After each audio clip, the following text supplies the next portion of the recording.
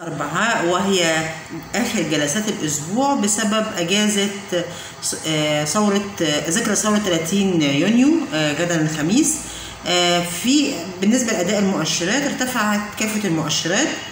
آه، ارتفع المؤشر الرئيسي للبورصة بنسبة 1.7 من 100% آه، وهي تقدر ب 108 نقطة ليصل إلى مستوى 10231 نقطة. ارتفع المؤشر 70 بنسبة 1.44 من 100% وهي تقدر ب 33 نقطة ليصل إلى 2317 وابتدت الارتفاعات المؤشر المالي الأوسع نطاقا ليرتفع بنسبة 1.31 من 100% وهي تقدر ب 43 نقطة ليصل إلى مستوى 3272 نقطة. وقد تم التداول على آه، 175 شركة 106 في جانب الرابحون و12 في جانب الخاسرون وقد مال المصريين والأفراد نحو الشراء فيما مال العرب والأجانب والمؤسسات نحو البيع. ومع ارتفاع في أحجام وقيمة التداول تصل في نهاية الجلسة إلى 2 مليار جنيه. آه، طبعا شفنا في أداء الأسبوع إن كان في آه، ابتدت الجلسات على آه، كان المؤشر الرئيسي للبورصة في جلسة الأحد عامل ارتفاع ولكن كان بنسبة ضئيلة كان عامل 25 من 100% وكان وصل ساعتها إلى 10305 إحنا بنتكلم دلوقتي في 10231 لازم نحط في اعتبارنا إن امبارح كان في جلسة الثلاثاء. كان في من نوع من الانخفاضات بسبب أنباء عن يعني تعرض أحد رجال الأعمال للسجن هو له أسهم في البورصة وده أثر بالسلب على آه، التداولات آه، خلال الجلسة طبعا.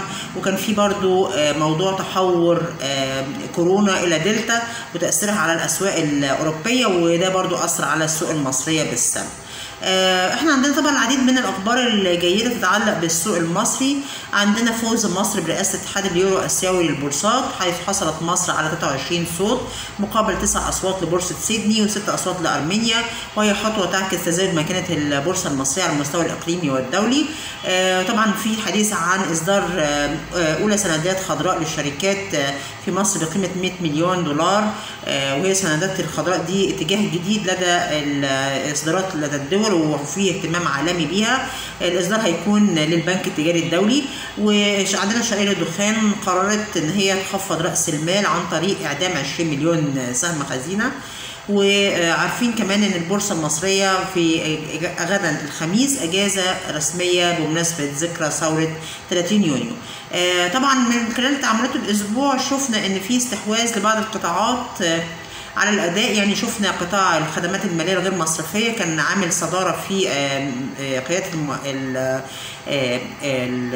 القطاعات. الآن بنتكلم على عودة قطاع العقارات مرة أخرى لصدارة المشهد. هو عامل طفرات سعرية جيدة.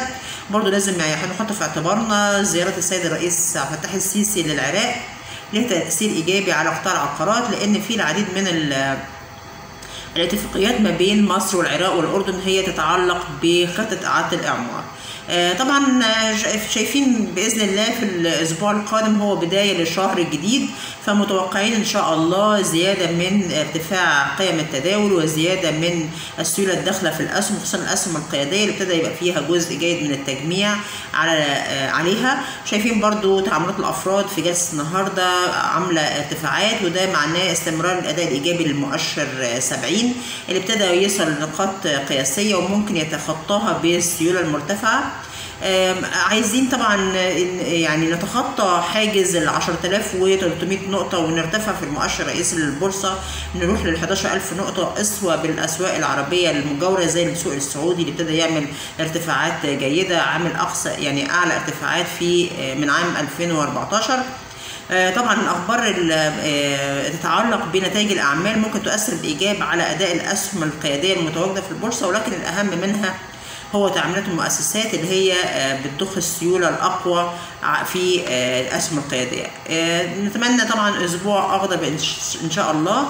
ونتمنى التوفيق آه، للجميع. وطبعا كل سنة ومصر كلها بخير وسبع سنوات من الإنجازات آه، لكافة المراحل وكافة ال- القطاعات.